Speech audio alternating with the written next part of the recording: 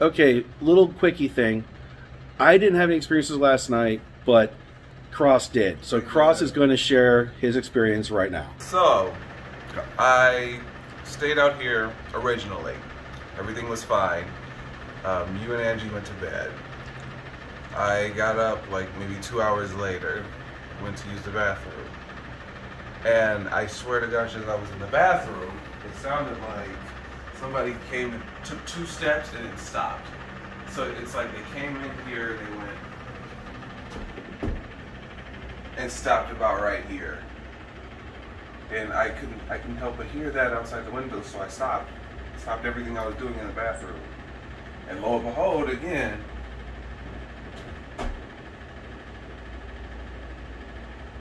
and I just stood and I just froze. I'm like, I hear something. So then I come outside. I mean, no, not outside. I come out, uh, come out of the bathroom, and I lay down.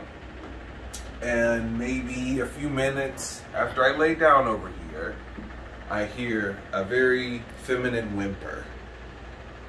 Like I hear something just like that, like crying, like. I would like you to do some more whimpering. it was, it, I swear to God, it was it, it.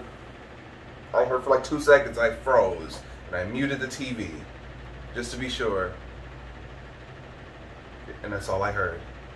And literally, that's that's my first night. That's definitely something happening.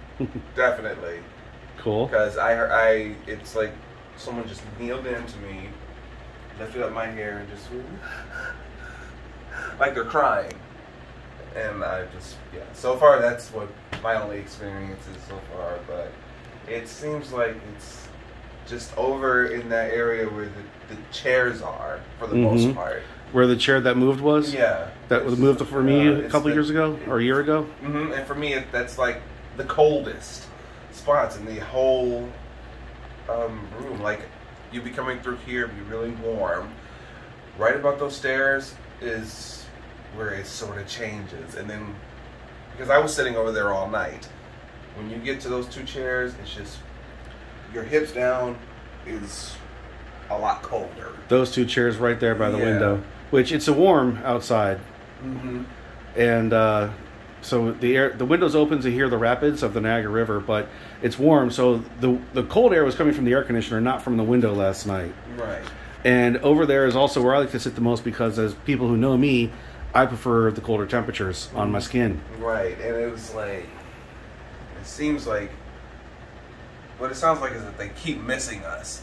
Like they hear us moving around here, and then they keep coming up to check. It's like, like you know, and then once they're gone, we're moving again. So they're like, what the hell is happening? So It was I also, kind uh, of like fight, trying to find each other. It was also interesting about this little spot you're talking about, Kross, where you heard those steps. Yeah, Typically, whenever I walk through this area of the room, yeah. that's when I get uh, goose flesh, or what you want to call uh, raised skin. Some people call it. yeah. Or your hair stand up. stand up. That I always get that when I walk through that area, either direction. Every time we've ever stayed here. Yeah. Other than that, it's just yeah. I'm sure you'll eventually have an experience while you're here. Yeah. you definitely have one. yeah, and this is that's only one night. So we're here tonight, and we're here tomorrow night too. Mm-hmm. So And tonight we're doing the Ouija board. oh great, Cheer up, Kross. Oh, oh great. You like Ouija my boards. yeah, I learned not to touch them alone. yeah, you did, didn't you? That was a hard I lesson. did. Yeah. I- I kept telling you stop doing it alone. I learned not to do it alone anymore. Absolutely. Yeah, that's another story. Yeah. So another story for a different day. right. All right.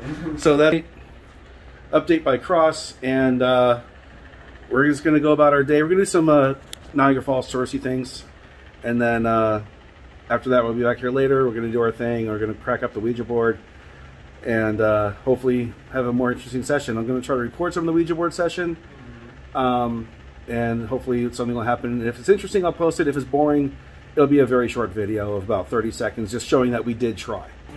Okay. See you later.